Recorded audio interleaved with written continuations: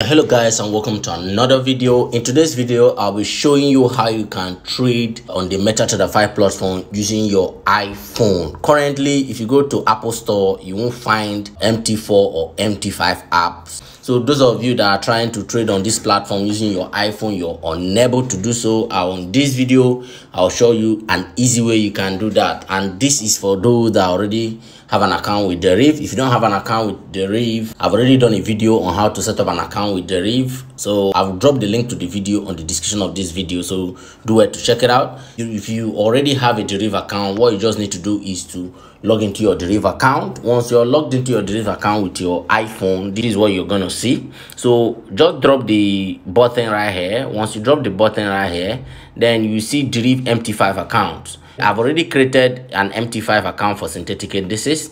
If you want to create currency pairs, you go for financial, then you add financial and fill out the procedure. If you want to trade synthetic indices, you will see add button beside here. So click on add, then you set it up. I've already created a Deriv MetaTrader synthetic account, so I'll just click on it.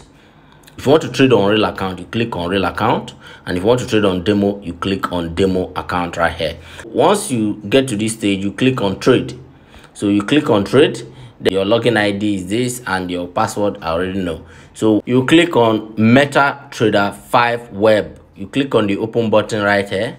You take it to this page then you click on the accept button right there.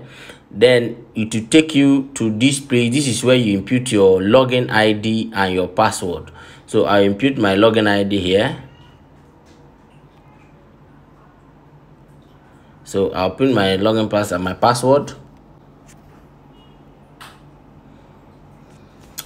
Okay guys once you've logged in this you're already on the metatrader 5 platform guys. You're already on the metatrader 5 platform. Here are the quotes and here are the charts. So you can do yeah here are all your trades. Here is your trade history and here is your settings guys. Here is your settings. So this is how you can access the metatrader 5 on your iphone without downloading any app on the apple store. If you want to add this to your screen what you just need to do is you click on this button right here.